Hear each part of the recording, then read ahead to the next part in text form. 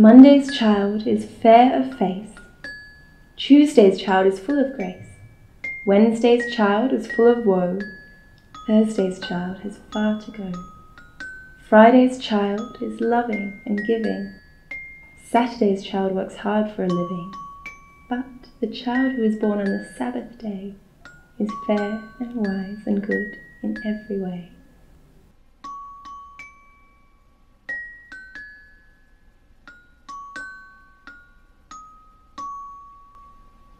If you look hard enough, you can find a niche market for almost anything, from vampire cruises to pet wigs and even underpants for your hands. There's no end to the amount of crazy things that people are willing to pay for. But one of the more startling of these is the demand for incredibly realistic dolls, commonly known as reborns. These dolls are made of vinyl, painted in layers to resemble human skin as closely as possible, and generally have cloth bodies, though they sometimes have complete vinyl bodies or body plates. The hobby of creating these dolls sprung up around the 80s and 90s when doll enthusiasts wanted more realistic looking dolls. Artists began creating and collectors began purchasing, and the market has only grown from there. The first reborn doll was put on eBay in 2002, opening the gateway to the large internet community surrounding these lifelike babies. There are numerous Facebook groups dedicated to keeping reborn artists and collectors in touch and allowing them to share their creations and stories. On top of this, there is a large YouTube presence where artists advertise their creations and collectors show off their dolls to the world, often role playing that they are real babies. Today, one of these dolls can go for hundreds or even thousands of dollars, which begs the question what makes them so valuable? Why do so many people want to get their hands on one of them? To get a better look inside this community, I will be working with a collector and artist of reborn dolls and learning a bit more about this strange craze. My name's Eliza, and I'm an artist and collector of reborn dolls. I've been an artist for about a year now, and I got into these dolls because I found one on the internet and I had no idea what it was, and I decided to buy it. It was actually this little one here, but when I got her, she was like in horrible condition. All the paint was peeling off, and I was just really not happy. So I decided I'll try my hand at painting them myself and it turns out I actually have a bit of a talent for it. I own an online business called Tiny Cub Craft. It's where I make and sell these little reborn dolls, as well as different soft toys. I offer custom made dolls where the person gets to choose the doll's hair colour, the eye colour, if they're sleeping, if they're awake. The customer has complete customization of their baby. So most people normally have heart attacks when I tell them how much it costs to make and sell one of these babies. It normally costs me about $300 in supplies um, in the beginning because I had to buy paints and everything. It costed me a fortune. But now it normally costs me about $100 per doll to make and I normally sell my dolls between 300 and about $600.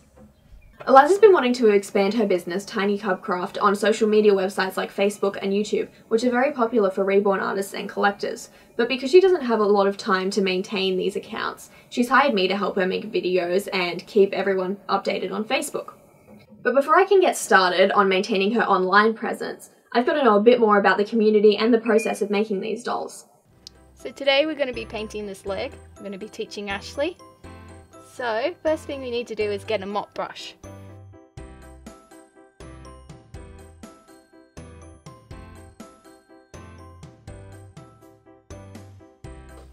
See, you can see slight difference. So you're just sort of wiping this yellow on gently to give it a bit of dimension and realism. Yeah. Because real skin tone, well, I'm going for a slightly, it's going to be slightly more pink because it's going to be a newborn kind of skin tone. So it'll kind of be like my finger. We're gonna, fun parts of the red. I have two reds here. I have my bright red and I got my dark red.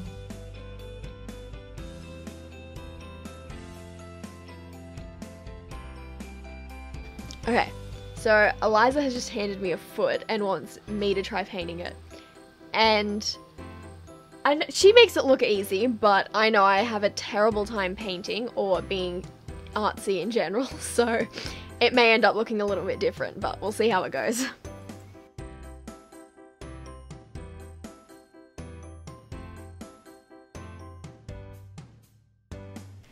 this is one of the weirdest things I've ever done in my life. Hey look, these feet are starting to look more realistic already, and it wasn't actually as hard as I thought it would be. Not bad for a first try if I do say so myself. YouTube is a major platform for creators and collectors of reborn dolls. For the collectors, it is a place for them to show off their babies and share advice and stories with others in the community. For artists, it is a medium for them to advertise and sell their creations, as well as teach others more about the process of making these dolls. Hi, I'm Crystal. As a child, I was always nurturing and naturally loved dolls. When I became an adult and discovered reborn dolls, my little family started to grow. Alright guys, so we just got away from the beach and we're getting gas and these two fell asleep. They had a long day at the beach and they had a lot of fun. Hey guys, it's Nikki from Still Women's Nursery. I just want to show you a couple of the completed dolls currently looking for homes. That is why I will be helping Eliza produce content for her own YouTube channel, starting with a video of her dressing up a doll she hopes to find a new home for. Hi everybody, I'm Eliza from Tiny Cubcraft and today I'm going to be changing little gorgeous baby Sylvia. Normally people either love them or they're completely freaked out by them. I think people are creeped out by them because they look too real. Sometimes people can get into really extreme situations with these little guys. Um, I've heard stories of lots of people leaving the doll in the car, uncovered, and people thinking it's a real baby in the car dying. So they break the window to find out it's actually a doll. When I take the dolls in the car, I normally try to cover them up with a blanket but this one time I didn't cover it up and I just left it in the car.